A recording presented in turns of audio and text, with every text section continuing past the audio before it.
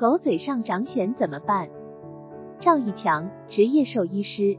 当发现狗嘴上长癣，通常建议及时到专业的宠物医院，通过五德石灯的照射或者皮肤刮片染色显微镜检查，确诊病原体是马拉色菌还是小孢子菌引起的这种长癣的症状表现，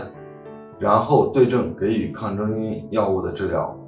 由于病灶部位离口腔很近，狗狗很容易把一些外用的药物舔食到肚子里，因此一般在该部位不建议使用外用药物，通常可以直接选择使用口服的乙曲康唑进行治疗。另外，为了避免这类药物对肝脏的损伤，可以选择冲击疗法进行用药治疗。在长癣期间，还需要主人给狗狗喂食一些营养丰富的食物。还可以喂食一些富含卵磷脂、维生素的保健品，帮助狗狗毛发和皮肤恢复。